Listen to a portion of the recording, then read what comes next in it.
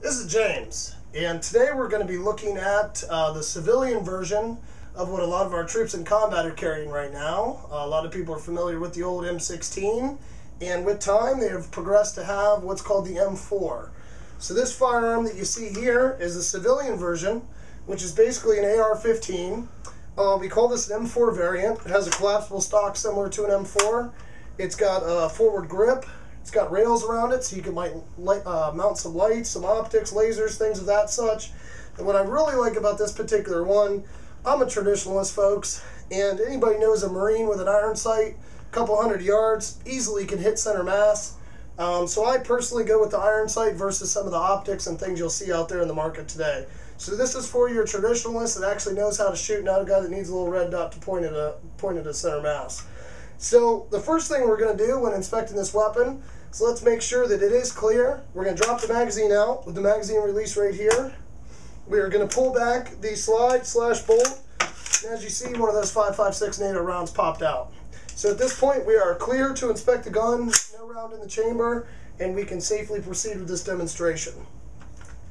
So now I'm going to take a seat here. And um, show you a couple features on this gun. So let me grab that NATO round real quick. One of the cool things about this gun that you'll find is when you're out in battle, um, you just can't carry around your common, common toolkits with your Allen wrenches and your your uh, you know screwdrivers and such. So they've designed this weapon that it can be fully field stripped with just one of these 5.56 NATO rounds. So what we're going to do is we're going to start by there's a pin. This is called the lower receiver. This is the upper. There is two pins here that connect the upper and the lower. And as you'll see, we'll take this NATO round here, push that pin out, push that pin out, pop them. The gun is now separated. Now, folks, this lower receiver here, you would not want to disassemble this any farther unless you are a gunsmith any of the trigger mechanism here in the springs. You can get in there to clean it out a little bit with some Q-tips and such, but you do not want to disassemble this any further, unless you really know what you're doing. Now the next part is getting the upper disassembled so we can get in here and see the integral parts of this gun. We're going to drop this, the bolt back, end up with this piece in your hand, now again, folks, the upper here is fully disassembled. Again, unless you're a gunsmith or someone that really knows what you're doing, you're not going to want to disassemble any farther than this. Now, this is where it gets a little trickier, not too hard. We'll go back to our 5.56 NATO round. There is a little pin here that you're going to need to pop, which is going to help us get the firing pin and this mechanism separated so we can get in here to field strip and clean this. So we're going to pop this little cotter pin out, set that aside this point, the firing pin will drop out, which is the actual pin that activates the bullet.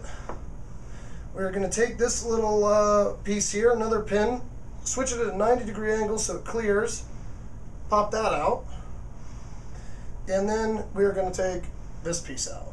So now at this point, we are fully disassembled, field stripped, and ready for cleaning. There's one more part that you can take out, there's a little tiny pin here that you can push out, and there's a little spring assembly in here which helps when it actually pulls the, uh, it's the ejector that throws the bullet out of the chamber once it's been fired and pulls the new one in. Um, not really necessary to disassemble that, folks, maybe after a thousand rounds or so, but in this particular case, it's looking pretty good. So at this point, we're fully disassembled. We can go about cleaning the gun. Now we're going to show you how to put it back together. We're going to first slide this piece back in. You want to make sure, folks, if you're looking at the top of this piece, where it will slide in the gun, you want the little ejector to be to the right-hand side. So you want to make sure you got that in the proper position. Now again, we're going to drop this pin in. So it clears past and drops in the little hole there. Kind of got to jimmy it a little bit. And then we're going to turn that again to a 90 degree angle.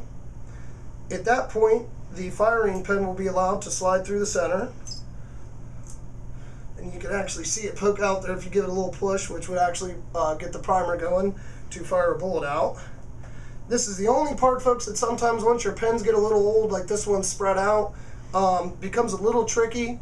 If you do run into issues with not being able to get this pen in, you might want to just talk to your local gun dealer or supplier and get some new ones. These are a very common part. But uh, basically, you're going to slide it back into that hole, make sure that it's holding in the firing pin, and then push it all the way through and make sure it's set. So when this final piece is put together, you should be able to see that the uh, ejector there pops back and forth. Not a problem. Firing pin moves freely. And at this point, we are able to put it back together. So we're going to grab our old uh, trusty upper here. We're going to slide this piece back in. There's a little notch on it right there. You don't know if you can see it in the video, but you basically clear that notch, drop it in, and then at that point, it stays in the gun. You're going to want to slide this in. Now it's put together. We're going to grab the lower again. I find, folks, that it's typically easier to put the uh, front pin in first. Usually it takes just a little bit of finagling, pops in, drop the lower down, boom, and now we're put together. So folks, this is, again, AR-15. It is the uh, civilian version. And uh, like we say in all our videos, folks, we're gonna lock and load in case the zombies come. Thanks for watching.